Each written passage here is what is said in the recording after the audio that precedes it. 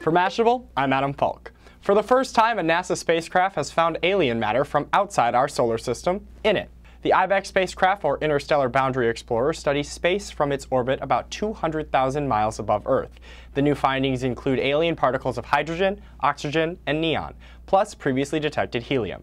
These atoms are remnants of older stars that exploded. Interstellar winds then blew the particles through the Milky Way. So, for the first time, thanks to IBEX, astronomers can compare how elements are distributed in interstellar space versus our own solar system. The Christian Science Monitor explains. Stars seed interstellar space with a range of elements when they end their lives.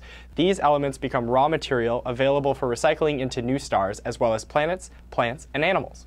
IBEX studies the boundary between interstellar space and our heliosphere, the protective layer that prevents cosmic radiation from entering our solar system. CBS quotes IBEX's principal investigator, who says, We discovered this puzzle. Matter outside our solar system doesn't look like the material inside our solar system. It seems to be deficient in oxygen compared to neon. Basically, the findings are helping scientists understand how our solar system evolves to infinity and beyond.